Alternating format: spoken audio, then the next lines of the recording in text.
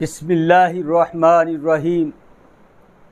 सैदना मुहम्मद सल्लल्लाहु अलैहि वसल्लम।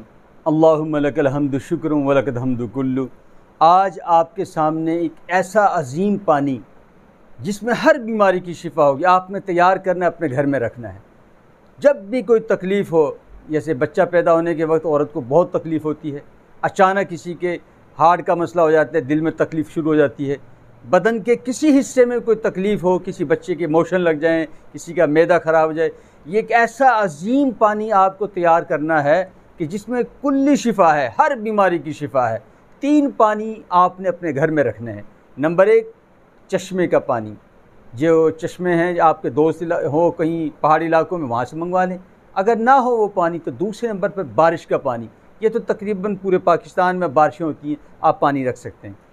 तीसरा से सबसे अजीम पानी है वह है आब जमज़म का पानी।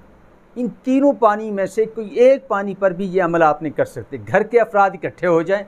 सबसे पहले दरूद इब्राहिमी, इसके बाद पाँच सूरतें पढ़नी है। अलहमदुलशरीफ आयतल कुर्सी कुल्लाहद कुरबिलफ़लक कुलबिन नास।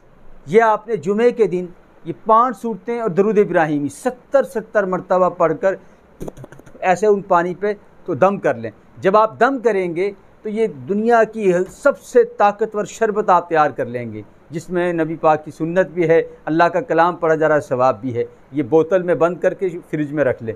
और जब भी कभी कोई तकलीफ़ पेश आए, इस पानी में से आप दो चार घूंट उसमें बिस्मिल्लाह पढ़ के पी लिया करें। आप मुझे दुआएँ देंगे। ये ऐसा पानी है, ऐसा शरबत आप तैयार कर रहे हैं कि रात के किसी भी वक्त आपको कोई तकलीफ़ महसूस हो थोड़ा सा पानी लें, बिस्मिल्लाह पढ़ के आप पी लें। आप यकीन जाने, बेशुमार घराने बीस साल के अंदर हज़ारों लोगों को इन इस, इस इस पानी से शिफा मिली है। तो अल्लाह पाक आप सबको नबी पाक सल्लल्लाहु अलैहि वसल्लम की सुन्नत ये फातिहा है। अल्लाह का कलाम है इसको अपनी ज़िंदगी में शामिल करने की तोफ़ी किताब फरमाए। और जितने लोग मुझे सुन रहे हैं मेरी बहनें मेरे शगिर्द मेरे दोस्त सबको मेरी तरफ़ से इजाज़त है। इस पानी को आज से तैयार कर लें अपने घर में रख लें। आप मुझे दुआएँ देंगे। अल्हम्दुलिल्लाहि रब्बिल